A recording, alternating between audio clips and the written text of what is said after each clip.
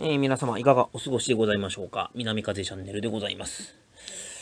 今日はですね、えー、っとね、今年あの、ブロンプトのね、あの、純正部品に関して、あのー、まあ、要は見た目はしょぼいとかね、作りがしょぼいとかいろいろ、まあね、まあ、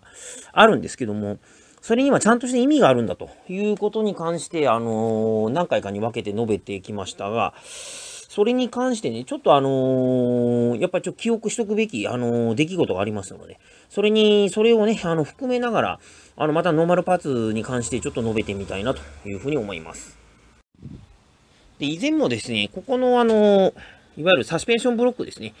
これに関して述べたことがありますかね。あの、まあちょっとね、そのゴムでできてるのがちょっとこうね、見栄えがしないとか、あの、動きがね、あの、ふにょふにょふにょしすぎて、もうちょっと腰のあるようにしなきゃダメだみたいなのが結構ね、言われていたりして、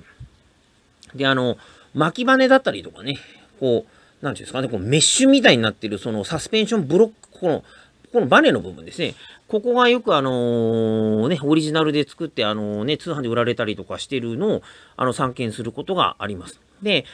それってね、あの、よく考えたらなんでメーカーはその巻きバネとかね、そういうのにしないのかしらと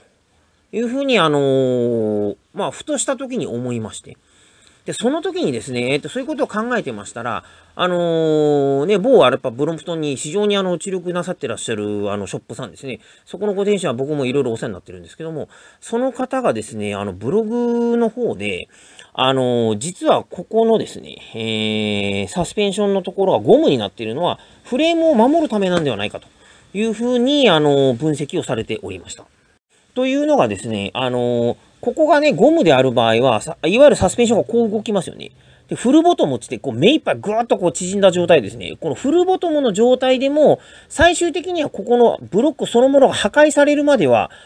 微妙に動き続けるはずです。あのー、まあ、金属ではないのね。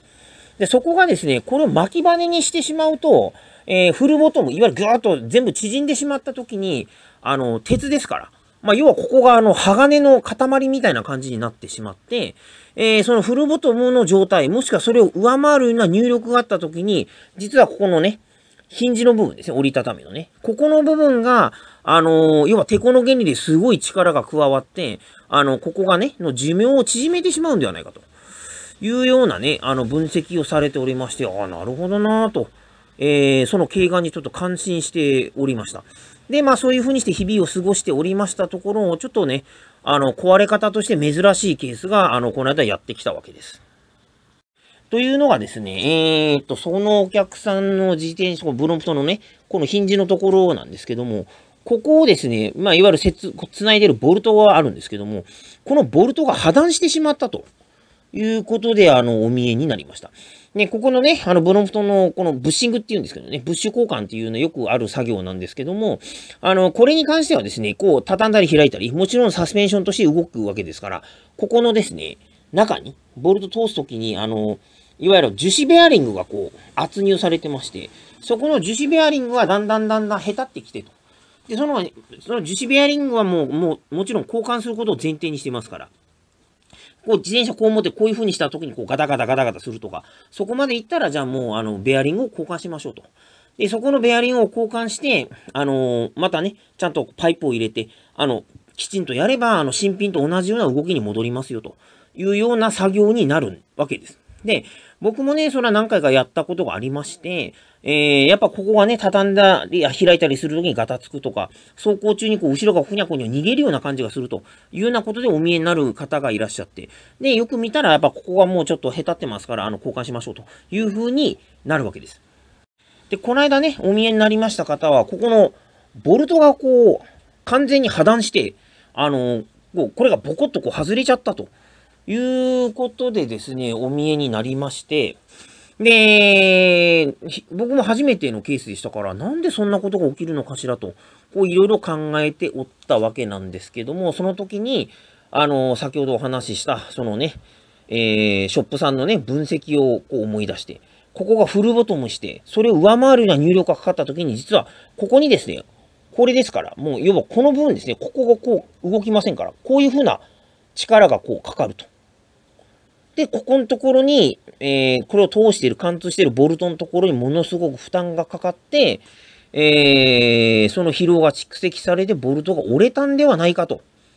いうようなのが私の、えー、分析です。まあもちろんそれが原因なのかどうかっていうのもちょっと残念ながらね、あの、ずっとこう継続して見てたわけではないので、推測の域を出ないんですけども、あのー、多分それが原因ではないかと。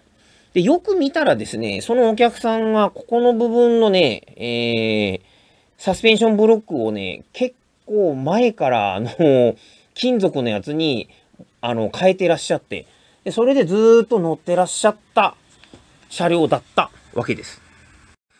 で、私はですね、ここがその、あの、サスペンション変えてない、えー、車両でここが折れたのを見たことがない。あの、私も初めて見て、で、輸入元に聞いてみたら、輸入元でもちょっとなかなか聞かないですね、という話だった。で、えー、それが起きた車両が、ここのところが、えー、巻き羽ですね、あの、になってました。で、あの、二段変速のブロンフトンでしたけども、それでそれなりに乗る人だったというふうに考えるとですね、ね、あのー、それはちょっと私の分析が、ひょっとすると当たってるのかもしれない。まあでもね、それは仮にこれは壊れるなら壊れるでね、ここのところまず交換してあげれば、まあまあ別に元に戻るわけだから、まあいいんじゃねえのと言ってしまえばそうなんですけども、あの、純正の部品でね、やってる場合は、ここがガタつくだけで済んでます。しかし、今回は破断でしたから、あの、例えばね、これがあの、ヒル、あの、ダウンヒルですね。あ坂道を気持ちよく下っている時に、ひょっとしたあの道の段差にゴンと引っかかって、そこで入力がありました。で、そこで破断してしまうと。で、時速多分30キロ、40キロとか出てる状態でもしそういうことが起きてしまうと、あの、おそらくかなり高い確率で落車、大怪我、えー、場合によっては鎖骨とかね、骨折とかっていうことも考えられうる事態です。ですから、あのー、そこはなんかちょっと考えると恐ろしいなと。いうふうに思っております。で、まあね、その辺のカスタマイズみたいなのっていうのに関して言うと、まああのー、自分の責任の範囲でやればいいんだよなという話にはまあもちろんなるわけで、もう絶対やるなとか、あの、もうやめなさいとかっていうのは、あの、わら、私の方から言うわけにいかないんですけども、一番恐ろしいのはですね、あの、わりかしこことかね、ここの部品もそうなんですけども、あの、ブロンフトのそのフレームとか、自転車のこう根幹に関わる部品、部品の割には、えー、非常に簡単に、あの、交換ができてしまうんですよね。で、すっごい手軽にできるカスタマイズっていうことで、どんどんどんどん一般化していったと思うんですけども、そのすごく簡単にできることで、車両のね、寿命を大きく縮めてしまう。もしくはね、大きな怪我につながってしまう。だから、乗ってる人間の寿命を縮めてしまうかもしれない。行いが非常に簡単にできてしまうというところに、実は、あのー、そこのなんかちょっと恐ろしさというかね、をあの感じざるを得ないわけです。で、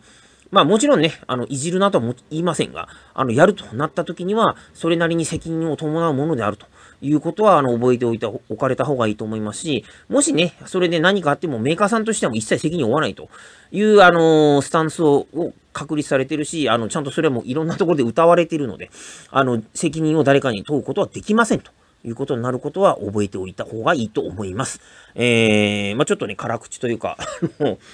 ね、そういうのが好きな人にとっては失礼な話だったかもしれませんけども、一応ね、あの、いろいろいじってきた人間の、えーえー、感じたこととして、お聞きおきいただけると幸いです。